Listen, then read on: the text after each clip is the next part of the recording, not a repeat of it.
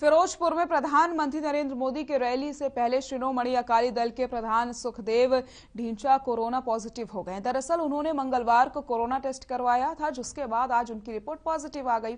आपको बताते चले, सुखदेव संगरूर से पीएम मोदी की रैली में शामिल होने के लिए रवाना हुए थे, लेकिन मोघा पहुँचने पर उनको पता चला कि उनकी जो रिपोर्ट है वो पॉजिटिव आ गई है, जिसके बाद वो संगरूर वापस लौट गए और खुद को होम आइसोलेट कर लिया है। वहीं ढींढसा ने बताया कि जो भी लोग उनके संपर्क में आए हैं, वो अपने कोरोना के टेस्ट ज़रूर करवा लें।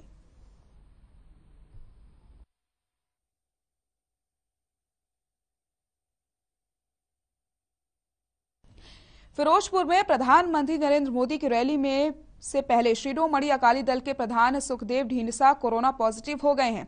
दरअसल उन्होंने मंगलवार को कोरोना का टेस्ट करवाया था, जिसके बाद आज उनकी रिपोर्ट पॉजिटिव आ गई।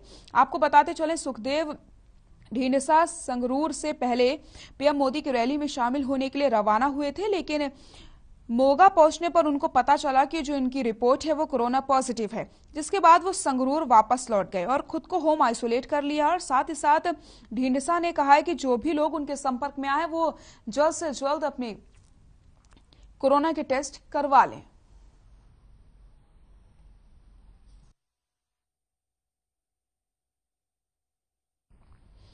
प्रधानमंत्री नरेंद्र मोदी की रैली से पहले शिरोमणि अकाली दल के प्रधान सुखदेव ढींडसा कोरोना पॉजिटिव पाए गए हैं। उन्होंने सभी से अपील करी है कि जो लोग उनके संपर्क में आए हैं, वो अपना कोरोना टेस्ट करवा लें। शिरोमणि अकाली दल के प्रधान Sukhdev Dhindsa corona positive PM की रैली में होने वाले थे शामिल। संपर्क में आए लोगों से उन्होंने अपील करी है कि जो लोग भी उनके संपर्क में आए हैं, वो जल्द से जल्द अपना टेस्ट कोरोना का करवा लें। आपको बताते चले, सुखदेव ढींडसा ने मंगलवार को अपना कोरोना का टेस्ट करवाया था, जिसके बाद आज उनकी रिपोर्ट पॉजिटिव आ गई।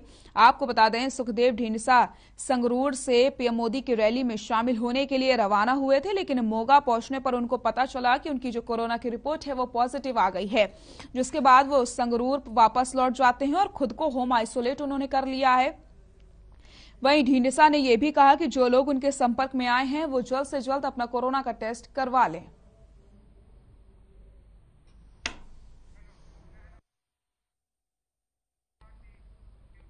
बावल क्षेत्र के गाँव टांग